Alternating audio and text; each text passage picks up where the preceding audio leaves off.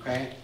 Um, I have allowed the Ask the Pastor questions to get backed up a little bit. I'm going to do one today and then hopefully a couple next week. Um, Let me read you the question.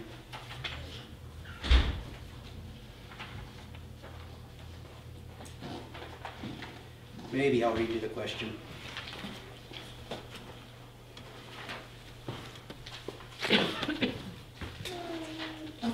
I don't have the question. I got two answers that are exactly the same, but no question. Thaddeus, restate your question if you would please.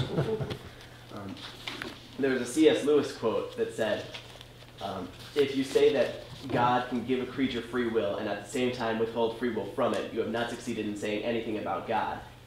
He also said that random groupings of words do not suddenly gain new meaning because we prefix them the words God can. Oh. I assume by that logic he's saying that nonsense is nonsense even when talking about what God can do. But I feel that God being the creator of logic and reasoning in the first place can change it if he wants to. Okay. So, here, here's the thing. Would you go ahead and put the picture up, Nathan?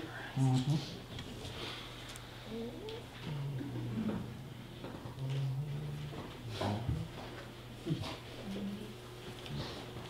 Can everybody see that? Oh, getting there.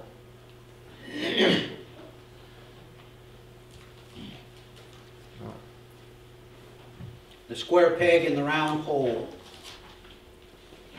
If I were to say God could fit a square peg into a round hole, would that be true? Well, I mean, look at the picture. Can a square peg go into a round hole? Well, not without altering one or the other, at least by our standards. The first thing that we have to look at in this question is we, we have to understand um, who God is. Okay? The primary way uh, that we understand who God is is through His Word. But, but honestly, His Word is, is kind of the starting blocks for us. Because He supersedes His Word. Okay? This was given to us to put us on the right track. But we also have a Spirit that brings to our remembrances the Word, capital W, who is His Son, Jesus Christ. Okay?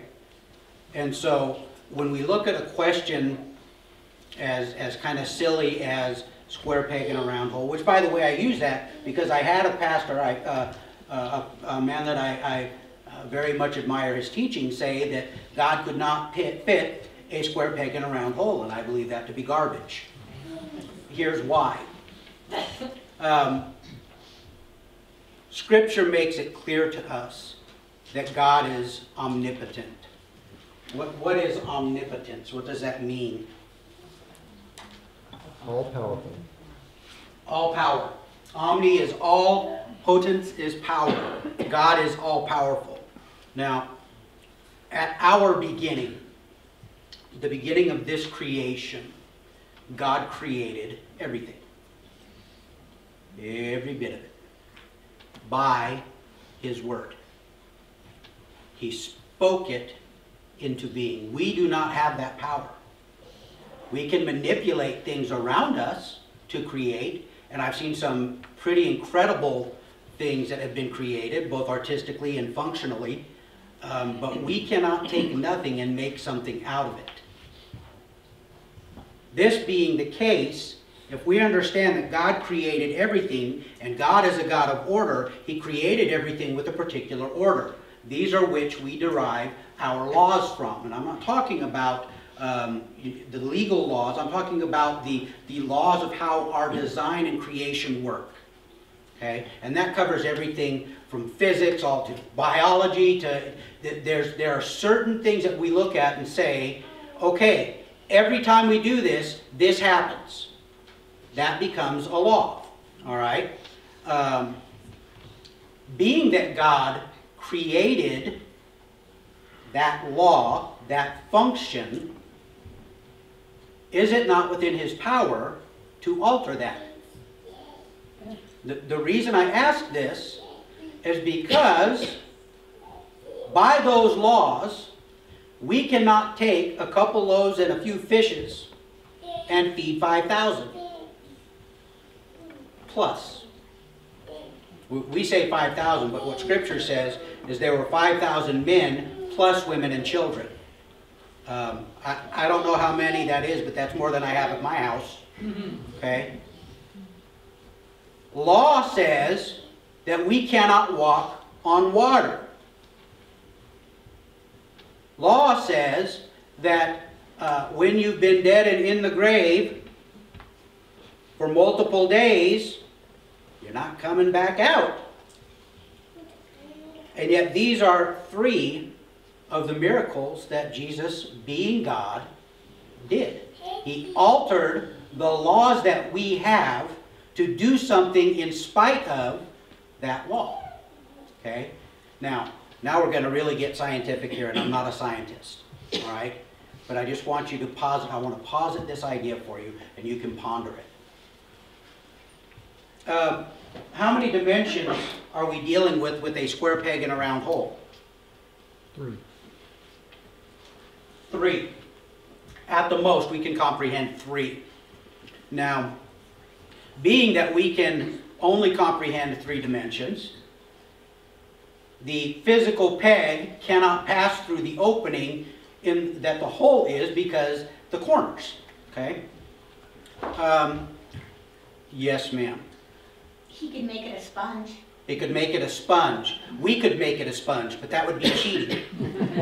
um, I need somebody young and strong. Luca, come here. Thank you for volunteering.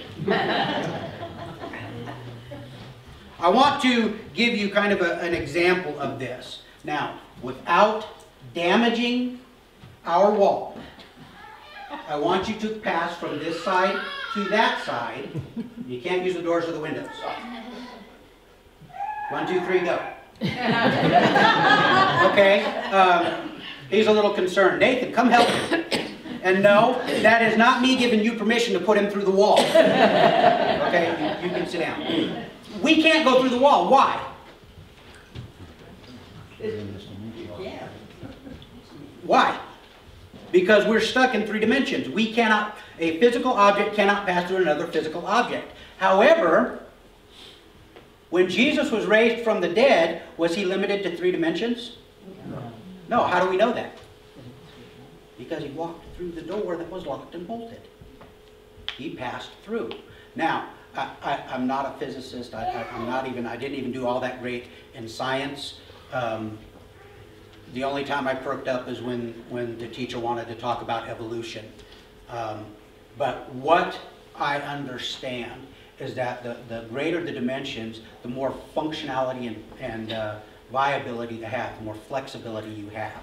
Now, if we were to take this in the reverse, and, and we've talked about the flatlanders in one dimension, actually it would be two dimensions, um, they could not comprehend us being in three dimensions. Okay? This is part of the problem that we have in comprehending God, because God isn't three-dimensional, He's not even four-dimensional. God is all and is in all. Okay? So however many dimensions there are, He supersedes them all. Okay? And yet Jesus, who said to Thomas, reach out and touch my hand. That's, that's a real hand. It's a human hand. It's not a ghost. It's not a spirit. It- he was a physical man. And yet he was able to pass through, now scientifically that's a really, it's an easy thing to understand, but it's a difficult thing to do. He was able to allow his molecules and his atoms to pass in between the molecules and the atoms of the wall. Now, you think about that, that's, that's really a relatively thing to do because most of us are made up of not much. And a lot of us prove that with our lack of thinking. Okay? But God, Jesus in the flesh, was able to pass through a solid wall. Now, I don't know if he came through the wall or the door, it doesn't matter. The door was locked, and he showed up in their midst. Okay? Um, so, if it is nonsense to say that God can give a person free will, and God in His sovereignty can take that free will away, and both of those things is- exist at one time. If that's nonsense, I think that speaks to our intellect, not to His being. Okay? I, I think it shows, it reveals our shortcomings, not His. Okay? Because I absolutely believe that God gave us free will, and I absolutely believe that He is sovereign. Okay? And why um, it works that way, I don't know, because I'm not God. That's, that's where I live on faith, because I don't know how He does that. Okay? So, I disagree with C.S. Lewis. I think that God can do and not do at the same time. Okay? So, um, I've got, actually, Satch, I've got two copies of it here for you, so you can read it twice. Um,